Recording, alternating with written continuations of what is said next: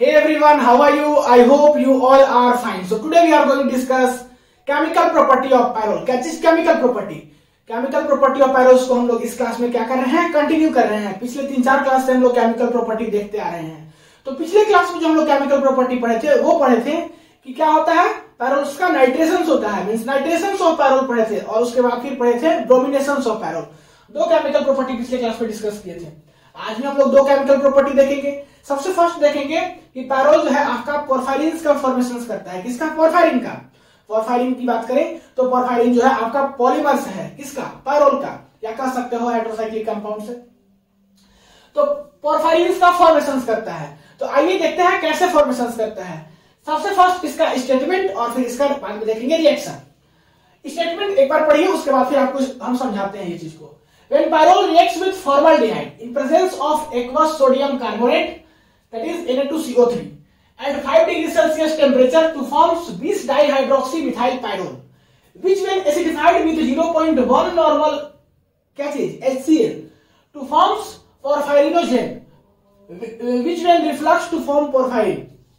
देखिए यहाँ पे है क्या जो कुछ लिखा हुआ है आप इसको सीधा सीधा एक लाइन में समझिए करना क्या है कि आपको लेना है पायरोल इसका रिएक्शन कराना है फॉर्मल डिहाइड के साथ इसके साथ फॉर्मल डिहाइड के साथ दैट इज़ CH2O के साथ in the presence of aqueous Na2CO3 और टेम्परेचर कितना होगा? 0.5 डिग्री सेल्सियस टेम्परेचर होगा। तो जाकर के यहाँ से जो प्रोडक्ट मिलेगा, वो मिलेगा आपको 20 डाइहाइड्रोक्सी मिथाइल पायरोल क्या मिलेगा? 20 डाइहाइड्रोक्सी मिथाइल पायरोल अब ये जो प्रोडक्ट मिलेगा, इसको क्या करना है? एसिडिफाइड करना है। क्या करना है? एसिडिफाइड करना है। तो एसिडिफाइड किससे करते हैं? एसिड से। तो कितना एसिड होना चाहिए? 0.1 नॉर्मल एचसीएल होना चाहिए। ठीक है? जब 0.1 नॉर्मल एचसीएल के साथ जब इस विस डाइहाइड्रोक्सी मिथाइल पायरोल को एसिडिफाइड करेंगे तो हमको जाकर के मिलेगा पोरफाइरिनोजेन मिलेगा। क्या मिलेगा? पोरफाइरिनोजेन और जब इसका हम रिफ्लक्स करेंगे, तब जाकर के हमको मिलेगा पोरफाइरिन। ठीक है? तो ये कुछ लंबा चौड़ा प्रोसेस है, बस इसको आप समझिएगा अच्छा से तो बहुत इजी है। नहीं समझिएगा तो स्ट्रक्चर देख करके डर लगता है बच्चे को। तो आपको समझना है थोड़ा सा। ठीक है? तो पोरफायरिन कैसे बना? हम बताएँ कि पोरफायरिन क्या है? पॉलीमर्स है। किसका? पैरोल का तो आइए देखते हैं पोरफायरिन का स्ट्रक्चर कैसा होगा।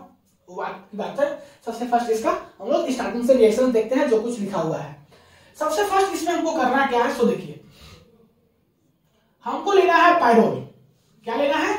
हमको लेना है पायरोल तो पायरोल का स्ट्रक्चर कुछ ऐसा होता है। इसका रिएक्शन कराना है फॉर्मल डिहाइड के साथ दैट इज़ CH2O के साथ। In the presence of aqueous Na2CO3 जो कुछ लिखा हुआ है, वही काम हम यहाँ पे कर रहे हैं। पायरोल्स का रिएक्शन करा है फॉर्मल के साथ in the presence of aqueous sodium carbonate ठीक है? कितना डिग्री सेल्सियस पे? 5 डिग्री सेल्सियस टेम्परेचर आपको रखना है। तो जाकर के यहाँ से क्या बनेगा? 20 dihydroxy methyl pyrrole 20 dihydroxy methyl pyrrole का क्या स्ट्रक्चर है? इसका कुछ स्ट्रक्चर है ऐसा। C H two O H यहाँ पर भी C H two O H यहाँ डबल वन डबल वन इसका नाम है आपका बीस डाईहाइड्रोक्सी मिथाइल पायरोल ठीक है? तो जाकर के यहाँ से आपका ये बनेगा। अब क्या करना है? इसको एसिडिफाइड करना है। 0.1 नॉर्मल एचसीएल के साथ। तो चलिए हम इसको एसिडिफाइड करते हैं। किसके साथ? 0.1 नॉर्मल HCl के साथ। तो यहाँ से क्या बनेगा? आपका बनेगा पोरफाइरिनोजेन तो पोरफाइरिनोजेन बनेगा। तो पोरफाइरिनोजेन का कुछ स्ट्रक्चर यहाँ पे ऐसा होता है। नाइट्रोजन यहाँ हाइड्रोजन यहाँ टू फिर ये आपका जो है मतलब सी एच टू बॉन्ड से यहाँ पे जुड़ता है आपका nitrogen hydrogen double bond double bond फिर यहाँ पे टू उम्मीद है कि आपको दिख रहा होगा। नाइट्रोजन, हाइड्रोजन, और यहाँ पे सी एच टू और ये कुछ ऐसा, और इधर भी आपका सी एच टू लगा रहेगा। ठीक है? तो ये हुआ आपका पोरफाइरिनोजेन। क्या है इसका नाम? पोरफाइरिनोजेन। ठीक है? तो 0.1 नॉर्मल एचसीएल से हम क्या किए इसको? ऐसे डिफाइड किए तो जाके बना पोरफाइरिनोजेन। और पोरफाइरिनोजेन का जब हम रिफ्लक्स करेंगे, तब जाकर के बनेगा पोरफायरिन तो इसका हम लोग क्या करते हैं? रिफ्लक्स तो जब रिफ्लक्स करेंगे तो क्या बनेगा? पोरफायरिन बनेगा। दैट इज़ की पोरफायरिन का स्ट्रक्चर कुछ ऐसा। नाइट्रोजन यहाँ पे लोन पेयर यहाँ हाइड्रोजन यहाँ सी एच टू यहाँ भी सी एच टू नाइट्रोजन यहाँ पे लोन पेयर यहाँ पे हाइड्रोजन कुछ ऐसा। ठीक है? यहाँ पे सी एच टू और फिर यहाँ पे इसका कुछ स्ट्रक्चर ऐसा होगा। कुछ अभी कर रहे हैं, चारों स्ट्रक्चर को सी एच टू बॉन्ड से हम क्या कर रहे हैं? जोड़ दे रहे हैं।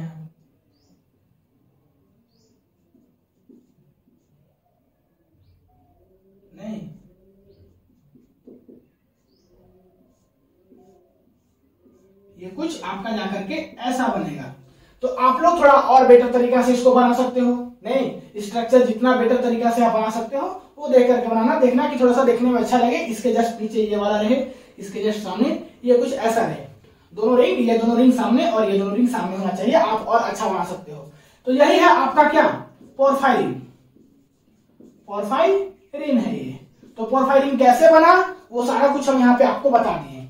फिर से सुनिए एक बार, हम क्या किए कि पैरोल लिए, इसका रिएक्शन कराया फॉर्मल्डिहाइड के साथ in the presence of aqueous NO2CO3 temperature कितना? 5 डिग्री सेल्सियस टेम्परेचर के प्रेजेंस में। तो जाकर के आपका जो बना, वो बना 20 डाईहाइड्रोक्सी मिथाइल पायरोल और जब इसका रिएक्शन हम क्या करेंगे? एसिडिफाइड करेंगे 0.1 नॉर्मल एसीएल के साथ। तो जाकर के आपका बनेगा पोरफाइरिनोजेन पोरफाइरिनोजेन में कुछ नहीं करना है CH2 बॉन्ड के साथ क्या रहता है? जुड़ा रहता है पैरोस का रिंग और फिर पोरफाइरिनोजन का हम क्या करेंगे कि जब रिफ्लक्स करेंगे तो जाकर के बनेगा आपका पोरफाइरिन और पोरफाइरिन का स्ट्रक्चर आपको कुछ दिख रहा होगा। तो उम्मीद है कि सारा कुछ आपको समझ में आ गया होगा। पोरफाइरिन जो है आपका पॉलीमर्स होता है पैरोल का। तो ये चीज़ समझ में आ गया। अब बात करते हैं हम लोग सेकेंड इसका क्या? Chemical property second chemical property क्या है? कि ये डाइजोमिथेन के साथ क्या करता है? रिएक्शन करता है। तो रिएक्शन विथ डाइजोमिथेन डाइजोमिथेन उसको देखते हैं। फटाक से इस वीडियो को पॉज करके नोट कीजिए। जल्दी से नोट कीजिए, मिटाए। चलिए, मिटाते हैं। अब बात करते हैं रिएक्शंस विथ डायजोमिथेन अब हम लोग बात करते हैं रिएक्शंस विथ डायजोमिथेन क्या चीज़ डायजोमिथेन के साथ रिएक्शंस करता है क्या? पायरोल तो डायजोमिथेन की अगर फॉर्मूला की बात करें तो होता है CH2N2 ठीक है? तो इसका रिएक्शन क्या होता है उसको देखते हैं, फिर इसका मैकेनिज्म देखेंगे। इसमें देखिए होता क्या है?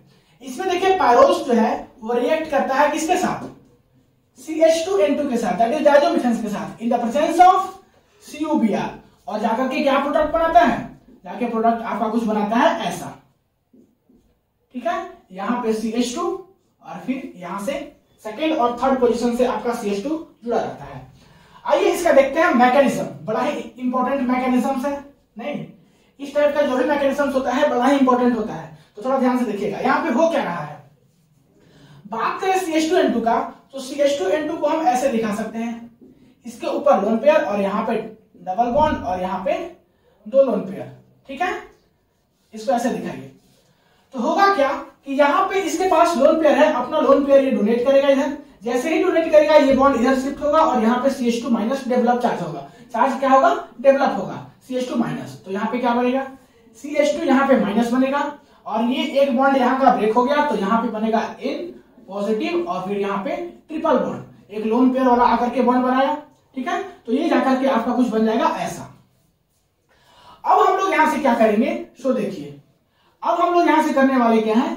इस नाइट्रोजन के ऊपर पॉजिटिव चार्ज है। तो इस नाइट्रोजन के ऊपर जब पॉजिटिव चार्ज है तो इसको इलेक्ट्रॉन का रिक्वायरमेंट होगा। तो जब हम इसको स्मॉल हीट करेंगे by small heating by small heating ज़्यादा हीट नहीं करना है स्मॉल हीटिंग करना है तो यहाँ से आपका N2 गैस बाहर निकल जाएगा। मीन्स ये जो है इधर चला जाएगा और N2 गैस बाहर निकल जाएगा और बचेगा क्या? CH2 माइनस ठीक है?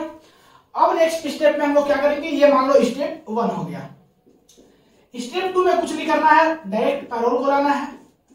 ये आपका क्या? पैरोल इसका रिएक्शन आपको कराना है सीधा सीधे सी एच टू माइनस के साथ। आपको बता दें कि एबाव द प्लेन आपका लोन पेयर है तो बिलो द प्लेन वैकेंट होता है। आपको मालूम होगा। तो above the plane lone pair है अपना लोन पेयर डोनेट करेगा इस थ्री पोजिशन पे। पैरोल सीरीज़ के थर्ड पोजीशन पे एबव द प्लेन जो लोन पेयर है, वो डोनेट करेगा। तो बिलो द प्लेन आपका क्या है? वैकेंट है। ये जो है, जाकर के अपना इलेक्ट्रॉन इस कार्बन के पास दे देगा। तो जाकर के जो है, आपका प्रोडक्ट जो है फाइनल बन जाएगा। दैट इज़ की कुछ ऐसा। नाइट्रोजन यहाँ हाइड्रोजन ये कुछ ये, और यहाँ पे सी एच टू और यहाँ पे कुछ ऐसा। ठीक है? यही है आपका फाइनल प्रोडक्ट तो डायजोमिथेन्स के साथ रिएक्शन करके और आपका रिएक्शन कुछ ऐसा होता है। तो उम्मीद है कि सारा कुछ आपको समझ में आ गया होगा। मिलते हैं अगले क्लास में नए टॉपिक के साथ। तब तक के लिए पढ़ाई करते रहिए। ऑल द वेरी बेस्ट शायद हमको लगता है कि इसका प्रॉपर्टीज़ का केमिकल प्रॉपर्टीज़ और पैरोल्स का एक रिएक्शन और बचा है। सल्फोनेशन उसको देख करके फिर हम लोग नेक्स्ट फटाक से क्या करेंगे? Five member heterocyclic compound start करेंगे। That is furan furan start करेंगे और उसके बाद फिर थायोफिन जब फाइव मेंबर कंप्लीट होगा तो उसके बाद फिर सिक्स मेंबर स्टार्ट करेंगे। तो उम्मीद है कि सारा कुछ समझ में आया होगा।